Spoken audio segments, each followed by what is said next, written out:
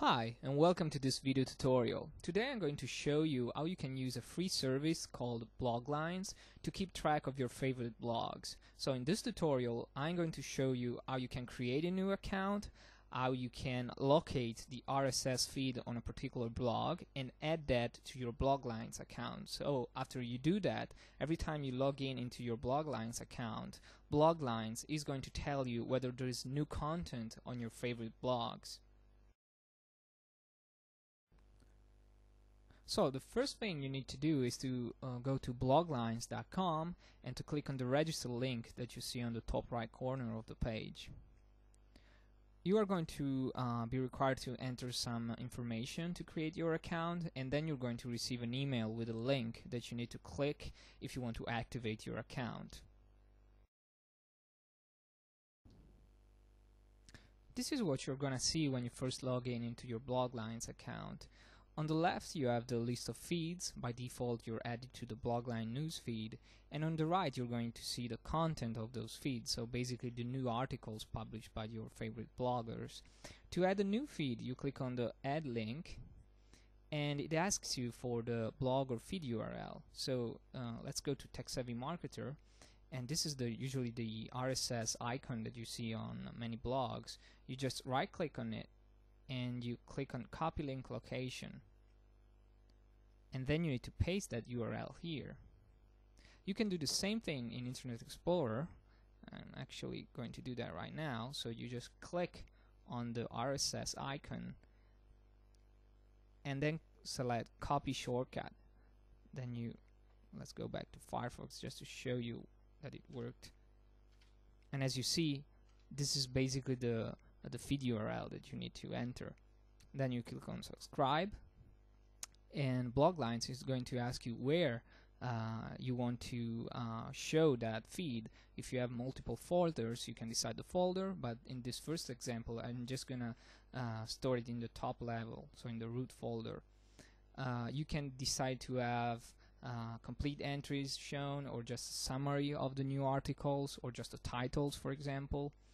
And then, once you're done, you click on subscribe, and as you see the tech savvy marketer feed is going to show up here on the left. It's going to be bolded because new articles were found.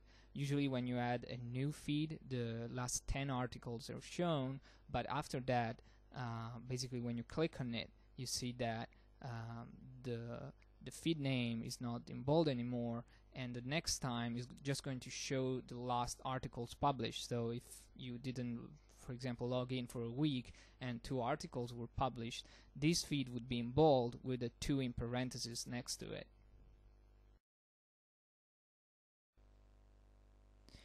You will notice that on some blogs uh, there are multiple subscribe buttons. For example, here I am at peterstonecopy.typepad.com, one of the blogs that I like to read, and on the left column I see that uh, Peter is offering a My Yahoo subscription button, a NewsGator, and, um, and uh, My MSN one, and also a standard XML feed. In these cases I always look for the XML, the plain XML feed, or I look for a, a Bloglines button if that is my uh, feed reader. Uh, if for example you subscribe to My Yahoo you will look for that button. Or some blogs even offer you as basically uh, just a textual link that you can uh, right click on like this one. So subscribe to this blog's feed. So let's right click on this one and copy the link location. I'm going to go to bloglines click on add I'm going to paste the feed URL here click on subscribe. And this time I want to show you also how to create a new folder. To do that I click on new folder and I'm going to put this blog for example in the copywriting category because Peter's uh, blog is about copywriting. So basically I go all the way down I click on subscribe.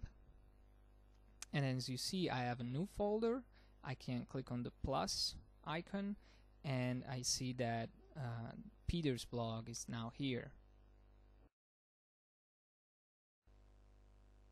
When a particular feed is showing new articles, you just need to click on it and on the right uh, you will see all the new articles. If you want to read one, you just click on the title and Bloglines is going to open that article in a new window.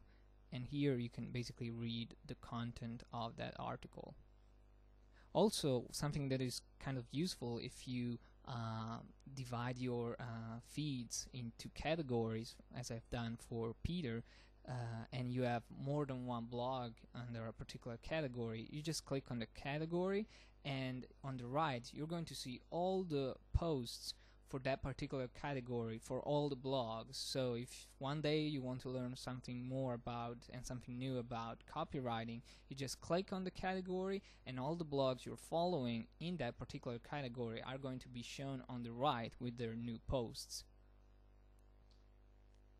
I hope you enjoyed this video tutorial. If you have any additional questions on Bloglines, just send me an email I'll try to answer them. Otherwise, I'll see you in a couple of days on techsavvymarketer.com.